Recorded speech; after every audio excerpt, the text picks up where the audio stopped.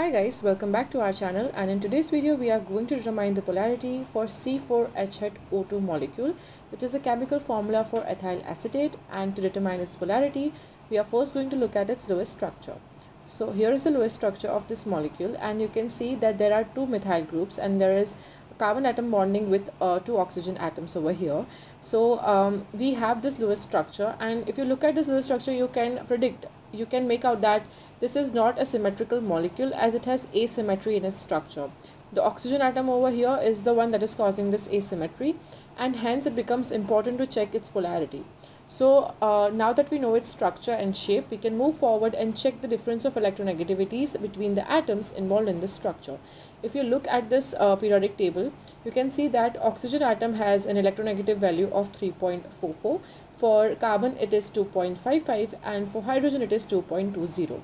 Now, if you compare the electronegativities of hydrogen and carbon atom, it is less than 0.4. So, we are not going to count that for now. But if you look at the electronegative value of oxygen atom and compare it with carbon and hydrogen atom, it is quite higher than 0.4, which makes the bond between carbon and oxygen polar. As this bond is polar and as, as oxygen is more electronegative than carbon atom, it will try to pull the shared electrons towards itself and hence due to this there will be an unequal distribution of charges in this molecule.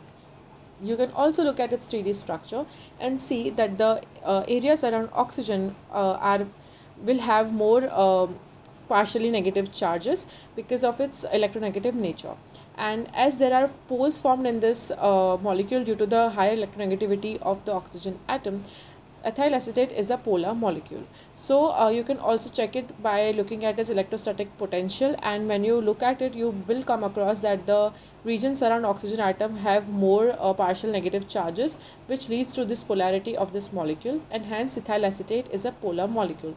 For more such videos on Lewis structure, molecular geometry, polarity of the molecules, make sure to subscribe to our channel. And thank you for watching.